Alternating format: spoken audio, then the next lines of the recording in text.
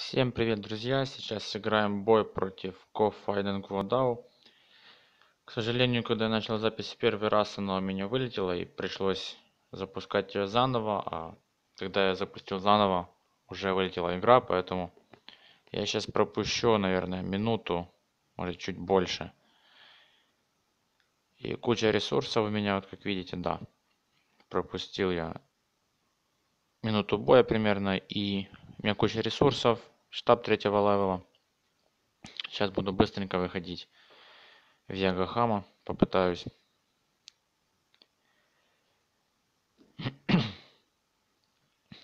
Дальше уже попытаюсь что-нибудь ему сделать. Такой противник сложный. Начал играть с Зевсоградом в последнее время, а когда он играет с Зевсоградом, это всегда опасность Град очень классно справляется с моими юнитами, с хамелеоном, например. Принудительным обстрелом, когда обстреливает твою базу, это довольно сложно. Точнее, не базу, а армию под хамелеоном. Довольно сложно как бы такое отбить, потому что у Града большой разброс, он, он там накрывает сразу всю армию. И тут как повезет, то есть если у тебя э, армия под хамелеоном расставлена не очень плотно. Там несколько танков, например. Если повезет, то град их почти не зацепит. Если не повезет, он вообще там каждого танка зацепит немного. То есть тут от везения зависит, ты ничего не можешь с этим сделать. Разброс града, он такой противный. Ну, поступление ресурсов у меня хорошее, поэтому я думаю, сейчас смогу его продавить в три завода. По крайней мере, надо попытаться это сделать.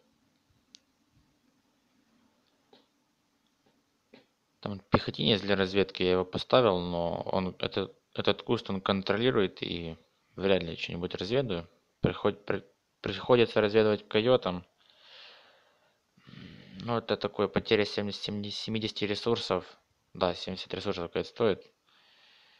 Целых 70 ресурсов вот так вот терять на разведку, это расточительно, но Лучше потерять 70 ресурсов и знать, чем будет играть соперник, чем делать рандомные войска в надежде, что ты угадаешь. Это ну, такое. Вот уже градами он обстреливает. Значит, градами он точно будет играть. Циклоны у него очень мощные, фуловые. Ну, такие циклоны довольно противные юниты. У них сильная броня, и поэтому с ними всегда очень сложно играть. 61 брони, по-моему, фулового циклона. Это практически как у броненосца или там молота. То есть, по сравнению со стрекозой, это небо и земля на самом деле. У стрекозы 49. То есть, сами понимаете, циклон еще и маневреннее. Так, Зевсоградом он играет. Поэтому, в принципе, можно с ним потягаться. Он когда поднялся на 22 ранг, он начал играть намного мощнее. И в плане прокачки у него много апгрейдов открылось. И опыта игры он набрался. То есть сейчас он играет на порядок лучше, чем там месяц назад. Хотя и этого ему пока не хватает, чтобы сражаться на равных. То есть он, он иногда выигрывает, но в большинстве боев он, конечно, сливает там 23 рангом Невил, Дону, там у нас и 20 и 21 ранги с ним воюют и побеждают. Вот видите, вот это называется везет пока что. Мой пехотинец пока в безопасности, до него крот не достает.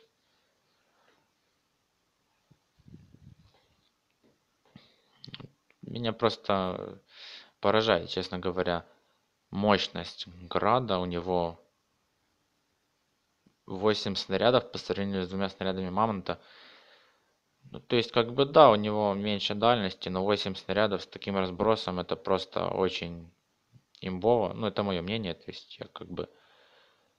Может, я плохо играю мамонтом, но все-таки довольно сложно контр контрить Зевсоград и Агамамонтом. Ну, реально сложно, кто бы там что ни говорил. Сейчас главное собрать быстренько Ягохама на full КО. Хамелеон это обязательно, без хамелеона. Против Зевса Града вообще ловить нечего.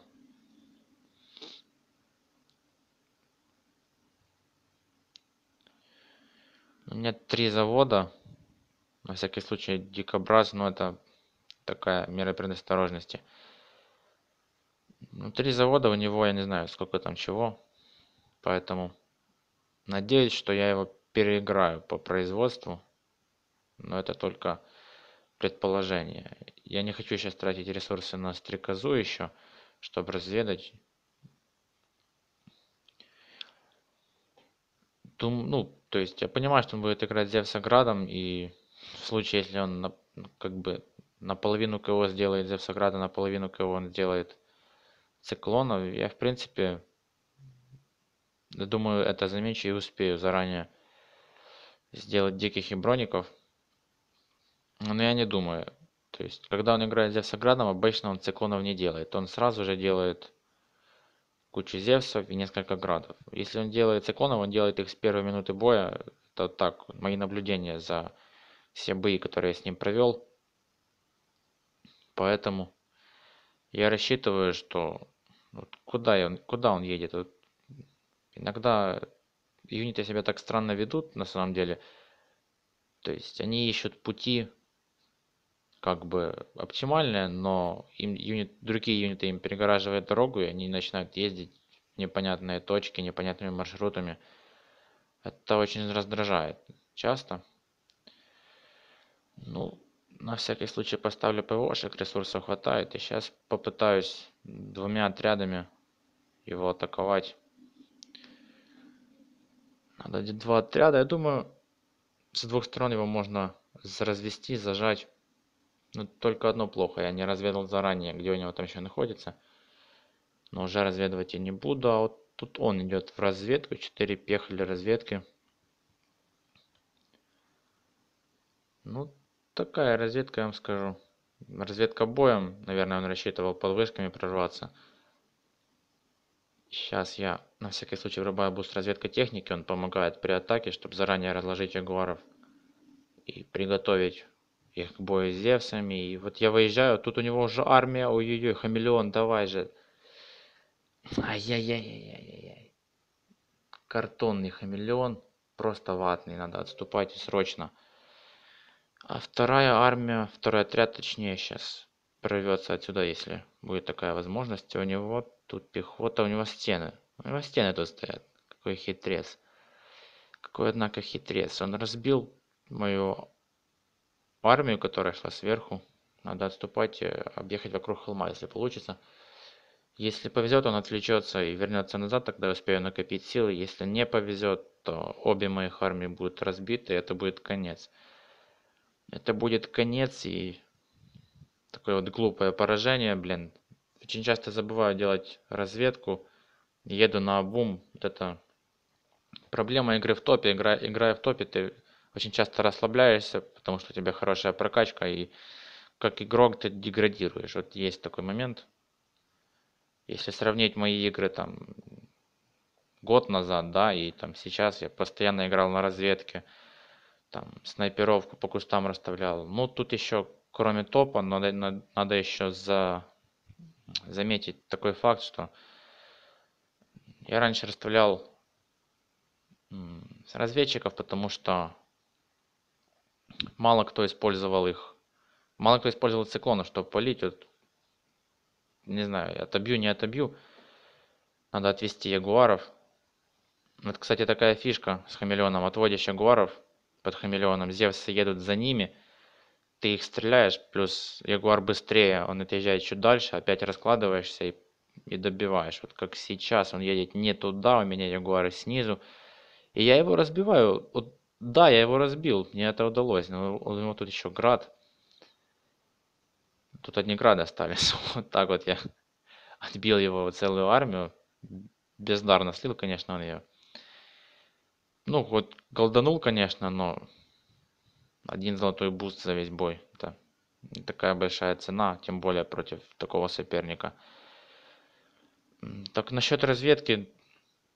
раньше я использовал разведку в кустах например пехоту намного чаще ну да отчасти это потому что я сейчас привык играть что у меня хорошая прокачка и на большинство соперников этого хватает в этом как бы проблема игры в топе моей и второй фактор. Сейчас очень многие игроки конфедерации летают там по карте циклонами.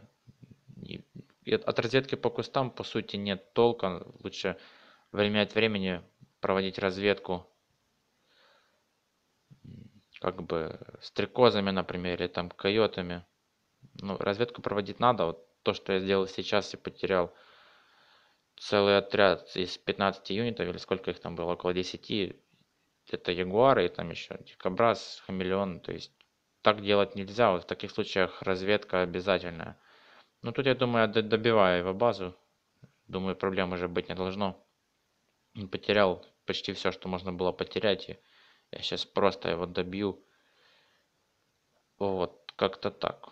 Ну вот надеюсь этот бой станет для меня уроком и для многих других игроков уроком что за сопротивление без разведки вот так вот идти это очень плохая идея надо не забывать разведывать и но кроме этого не стоит отчаиваться если ваш вашу армию разбили. Против зевсов ягуар плюс хамелеон связка очень хорошо работает. Вот если бы мой, у моего соперника был щит это уже значительно усложнило бы ситуацию. А так одни зевсы едут на пролом в облако и там сливаются. То есть играть можно если уводить танки если не давать сопернику засветить где твои танки находятся. То есть можно отбивать даже много больше армии чем твоя. Как-то так.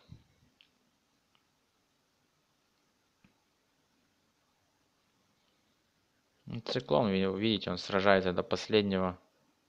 У него довольно мощный циклон. У циклона вообще мощный урон по ягуару. У фулового так тем более я не знаю куда он там свои очки умений кидал. Вполне вероятно что он их кидал как раз таки на авиацию в том числе. Вот сейчас что-то у меня зависло. Конкретно так зависло ну ладно. Ну в общем базу его я разбил. Надеюсь бой был интересным. Поэтому спасибо всем за просмотр. Буду заканчивать это видео. Всем пока